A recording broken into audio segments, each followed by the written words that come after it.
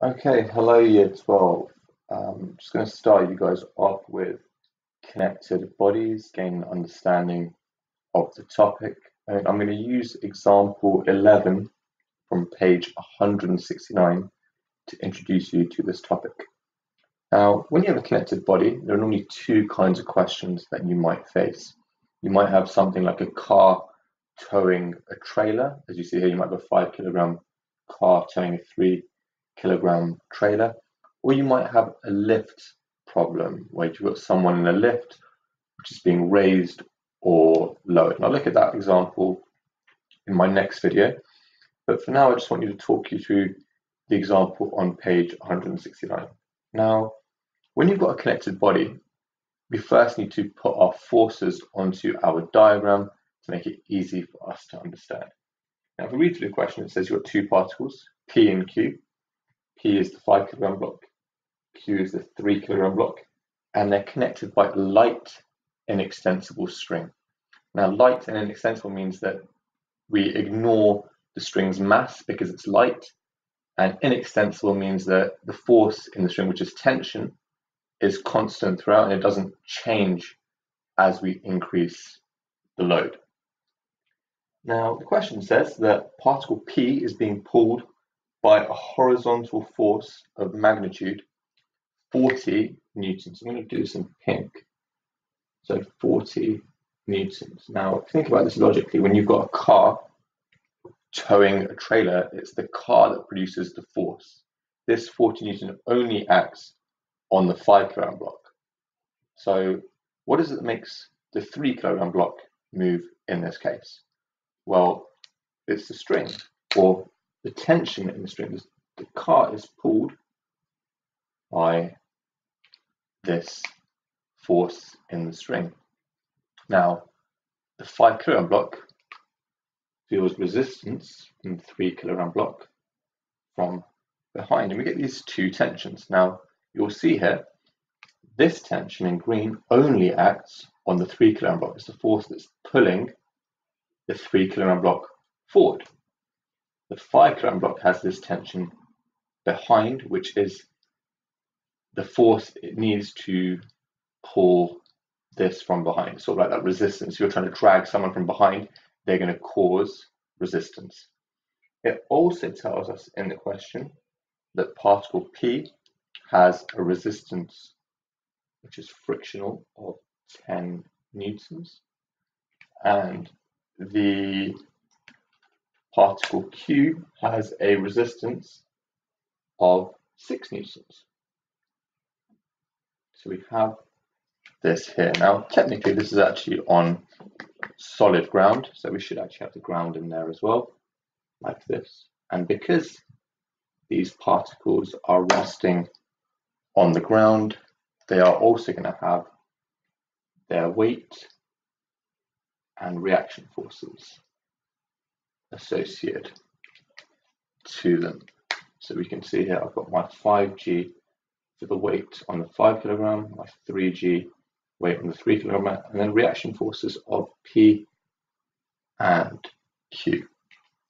Now from this, because there's no acceleration in this upward direction, in this upward direction, these forces must be balanced. 3g must be equal to rq and 5g must be equal to RP.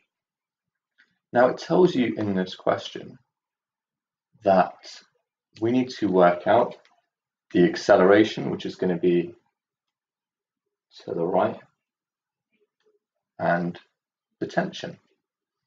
So we're going to look at how we solve a question like this now. Now for connected bodies, there is one key element to take into place and that is you can either look at the whole system as one big particle, or you can look at each system separately. So you can look at the five kilogram block separately to the three kilogram block. And the way I show this is via these symbols here. We can either do F equals ma on the whole system, we can do F equals ma on the 3 kg block, and F equals ma on the 5 kg block. Now, why would we do one rather than the other? Well, we currently have two unknowns. You've got the two tensions and the acceleration. Now, if I did F equals ma on just the three kilogram block, I'd have this unknown of tension in it, and I'd also have an acceleration because this is all accelerating to the right. In the same way, if I did F equals ma just on the five kilogram block, I'd have this tension from behind and acceleration as well. So when I do F equals ma on the whole system, we can see here that if I've got tension to the right and tension to the left, which are exactly the same, they will cancel out.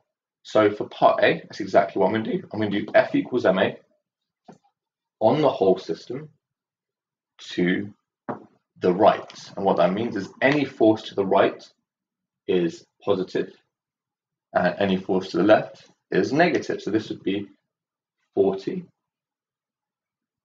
plus t minus t minus 10 minus 6 is equal to the collective mass of the whole system is 5 kilograms plus 3 kilograms, which is 8 times by A. Now we know the t's are going to cancel out, so this is going to be 40 minus 10, that's 30. 30 minus 6 is 24. 24 is equal to 8a, so A is equal to 3 meters per second squared. And that is part A completely done. Normally worth about three to four marks in an exam. So done part A. Part B is asking us to work out the tension. Now, we can't do F equals ma on the whole system now because we know the tensions will cancel out. So we now look at F equals ma on one of the systems only. My advice is to do it on Q because it will make P be positive. So it'll make T be positive, and that's going to the right. So when we do F equals ma, we only look at the forces now on Q.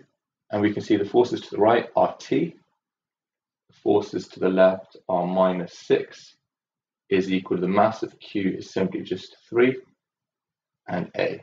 Now, we worked out the acceleration previously is equal to 3. So all we're doing is because A is now equal to 3, we substitute that in over here. We get T is equal to 3 times by 3 plus 6. And that gives us T is equal to 9 plus 6 is 15 newtons. And if we think about that logically, 15 is greater than the 6, which is going to cause that to pull off in that direction. And here the 10 plus the 15, the 25, is less than the 40, so that resistance is going to be here, but it's still going to be less than the 40, meaning this is going to accelerate in this direction as well. So what we've done here, we did F equals ma on the whole system. That's completely fine. We then did F equals ma just on Q to find the value of tension. Now I said we could have done it on P instead, so I'm just to do that underneath just to double check. If we did F equals ma on P, the 5 kilogram block to the right, our positive force would have been 40, our negative force would have been the 10, and the tension is equal to the mass of this is 5 and acceleration is 3.